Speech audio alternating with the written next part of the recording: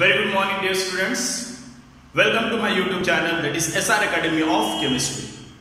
So, dear students, today we can discuss about a very important topic that is reactivity of aldehyde and ketones.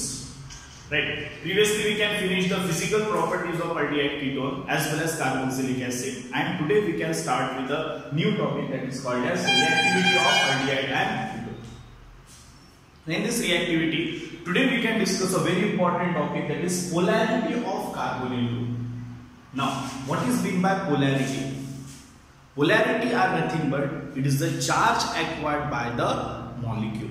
If the same molecule consists of both positive and negative charge, it is called as polar bond. उसको क्या बोलते हैं हम लोग polar bond. So there are two type of covalent bond. One is called as non-polar, where polarity cannot arise, means the positive negative charge cannot arise, and one type of bond is called as non-polar bond, where the polarity can arise, means the molecule consists of both positive and negative charge. Now let's see how carbonyl group are polar in nature वो हमको अभी यहाँ पे क्या करना है study करना है so suppose we just take one example of carbonyl group that is C double bond it is called as simple carbonyl group right we know that it is a carbonyl group now here if you see carbon is more electronegative compared to carbon am i right carbon is more electronegative uh, sorry oxygen is more electronegative compared to carbon so Out of these two, one is sigma, another one is pi bond. So in this case, the pi electron density are shifted towards the oxygen. So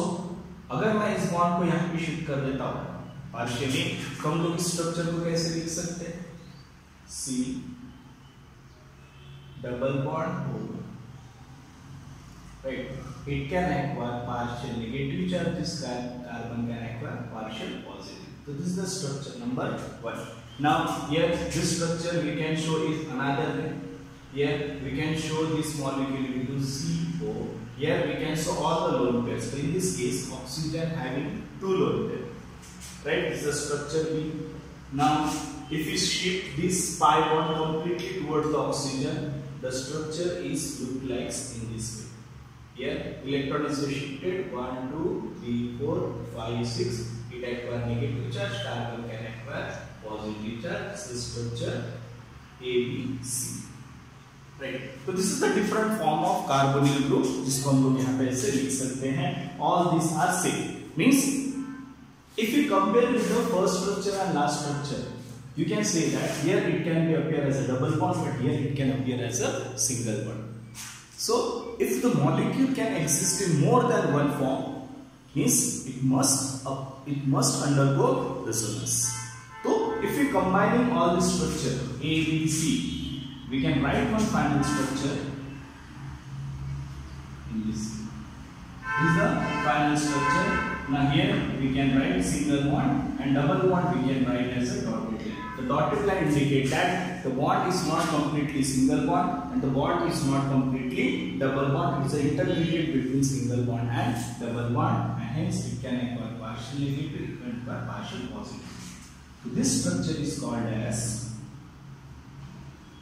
resonance ion. structure को क्या बोलते हैं हम लोग resonance ion. so and due to that reason we can call as a polar bond. The CO bond is called as polar bond. Why it is called polar polar bond? Because there is a large electronegativity difference between carbon and oxygen and it can acquire positive or negative charge and hence this bond is polar bond. Now Another point you must remember, polar bond are more reactive compared to the non-polar bond and hence we can say that carbonyl group are more reactive compared to alkene.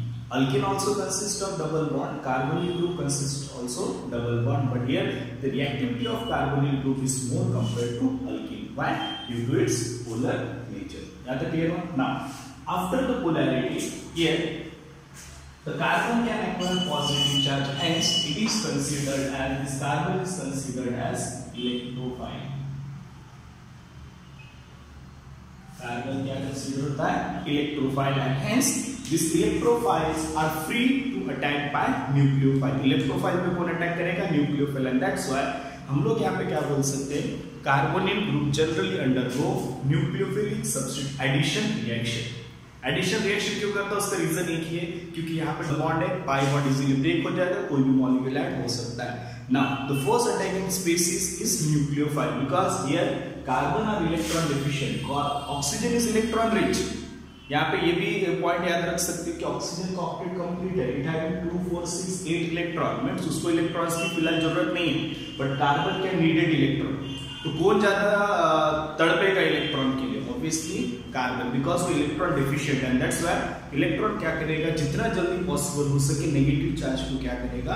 Attract करेगा. Hence we can say that carbon group always undergo which reaction electrophilic addition reaction here first attacking sorry it always undergo nucleophilic addition reaction here the first attacking species is nucleophile why nucleophile because carbon are electron deficient electrophile क्यों नहीं होगा? Because oxygen electron rich उसमें electrophile आएगा नहीं आएगा, उसको फ़र्क नहीं पड़ने वाला है। बट कार्बन को फ़र्क पड़ने वाला है। कार्बन को desperately need electrons carbon desperately need electron that's why it always undergo nucleophilic substitution reaction so the characteristics reaction of carbonyl group is nucleophilic substitution reaction. Right? I hope you can understand the first point that is polarity of carbonyl group. If you understand, please take a note of this. इसको एक बार क्या कर note कर लो या इसका screenshot लेकर रखो फिर हम लोग आगे बढ़े